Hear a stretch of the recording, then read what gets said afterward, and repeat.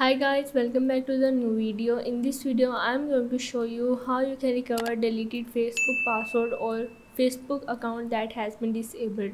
So let's get started. First of all, open your Facebook. Once you are in, you have to go on these three bars, scroll down and go on the settings and privacy. Now here you have to click on the settings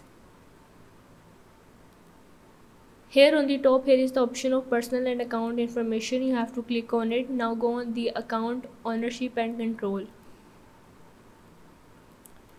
Now you have to click on the deactivation and deletion. Here you have to click on the delete account. Continue to account deletion.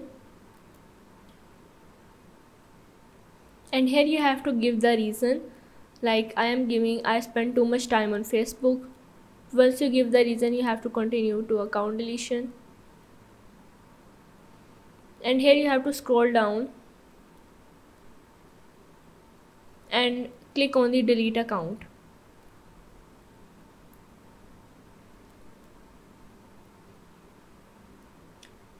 now here you have to just enter the password. Once you enter the password you have to click on the continue and your account will be deleted. Once you delete your account and if you again want to recover it you have to just again enter the password of your id and your account will be again login so yeah this is how you can recover deleted facebook password or facebook account that has been disabled